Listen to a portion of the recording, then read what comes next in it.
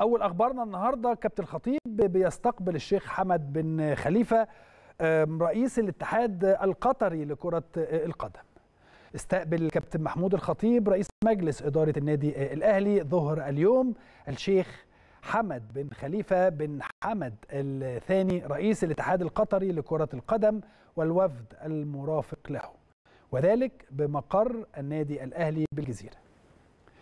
ضم الوفد المرافق للشيخ حمد بن خليفة بن حمد الثاني كل من علي داوود المدير التنفيذي لمكتب رئيس الاتحاد القطري ومشتاق الويلي مستشار رئيس الاتحاد القطري وجاسم السعيد مساعد رئيس الاتحاد ومحمد الفلاسي مساعد مدير مكتب رئيس الاتحاد القطري وذلك في حضور كل من المهندس هاني أبو ريدة عضو المكتب التنفيذي للاتحادين الأفريقي والدولي.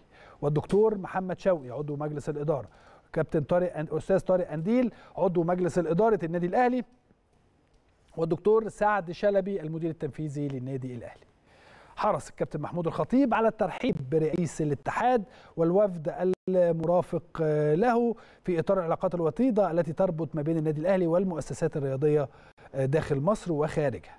وعقد الكابتن محمود جلسة ودية مع الشيخ حمد بن خليفة تبادل خلالها الحديث عن الأهلي ومدى ارتباط رئيس الاتحاد القطري بالنادي وتشجيعه للنادي الأهلي منذ فترة طويلة.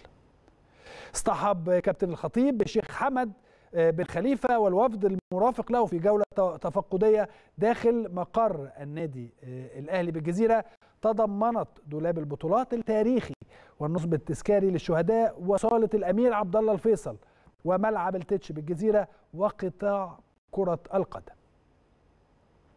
كان الشيخ حمد بن خليفة رئيس الاتحاد القطري لكرة القدم قد حرص على زيارة بعثة النادي الأهلي والاحتفاء بها في مقر إقامتها بالدوحة خلال بطولة كأس العالم للأندية في النسخة قبل الماضية التي نظمتها قطر.